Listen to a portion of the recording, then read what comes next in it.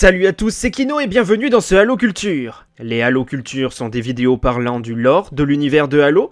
Ici, notre objectif est de raconter ou de mettre en lumière des événements de l'univers de Halo, mais aussi des personnages ou des choses qui ont à voir avec le développement des jeux.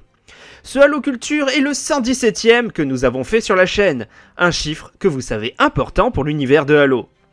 Aujourd'hui, nous allons donc parler des entités et de leur montée au pouvoir.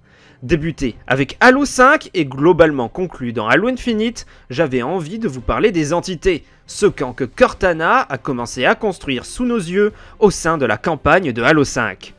Tout d'abord, il faut savoir que cette faction regroupe exclusivement des intelligences artificielles humaines dites malignes, se considérant aptes à reprendre le rôle des Forerunners en tant que maîtres du manteau de responsabilité. Créée par Cortana, cette faction permet d'offrir à ses membres l'abolition des limitations de leur durée de vie, limitée à 7 ans, ainsi et par une vie immortelle, les IA pourraient veiller à la paix galactique grâce aux gardiens Forerunner.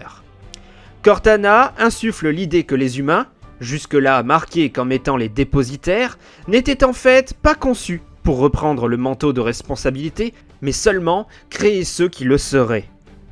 Tout a commencé lorsque le didacte a attaqué la Terre, nous voyons ces événements dans Halo 4.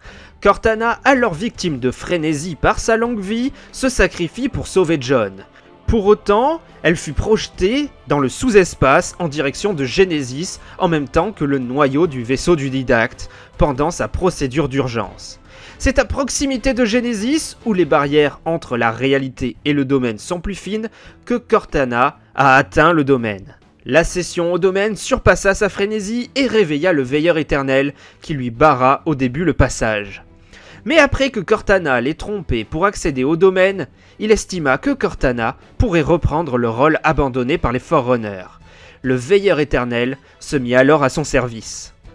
Face à la possibilité de pouvoir donner une seconde chance aux IA par le domaine, et séduit par les propos du veilleur, Cortana se rallia aux idées du veilleur par leur vie quasiment immortelle, les IA seraient bel et bien les mieux placés pour reprendre le rôle de détenteur du manteau de responsabilité.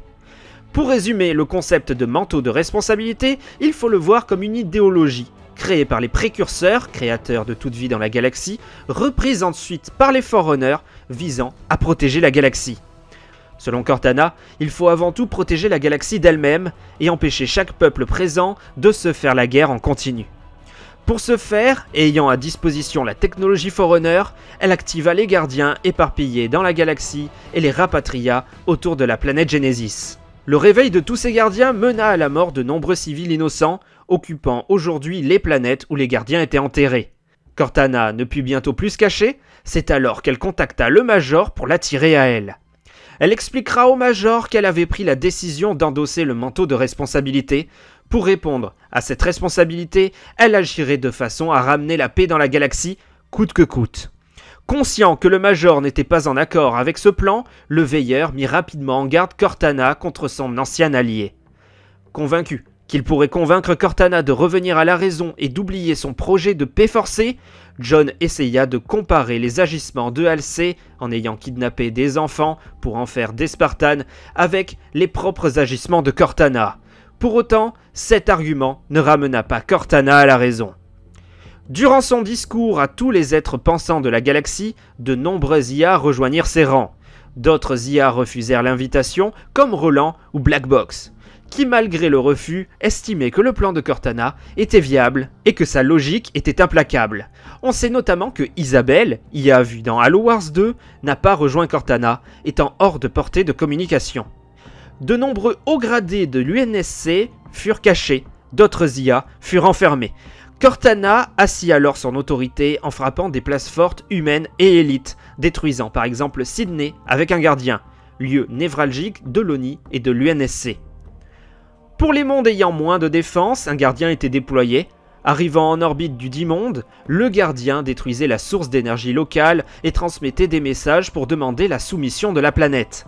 Des soldats prométhéens étaient également téléportés pour mater toute résistance éventuelle. Certains mondes cédèrent à la menace causée par Cortana, comme Balao, le monde natal des grognards.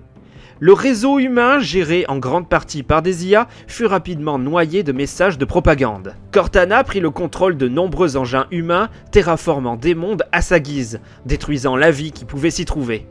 Elle prit le contrôle de stations spatiales dans l'unique but de pouvoir produire son propre équipement et armement pour ses troupes. Toute résistance donnait lieu à des attaques précises et mortelles, comme en atteste Halo Infinite, montrant que Cortana a détruit Dwazak comme une station spatiale spartane. En moins d'un an, la galaxie tomba entièrement entre les mains des entités et de Cortana, gérant la galaxie d'une main de fer avec son armée d'intelligence artificielle et de gardiens prêts à agir partout dans la galaxie. Pour la vaincre, une IA jumelle de Cortana fut créée par le docteur Catherine Alcé et l'UNSC. Cortana fut finalement vaincue sur l'Alozeta, où elle sera enfermée. Puis, elle s'auto-détruit, elle et une partie de l'Halo, pour empêcher Atriox de découvrir et s'emparer du secret que renferme l'installation.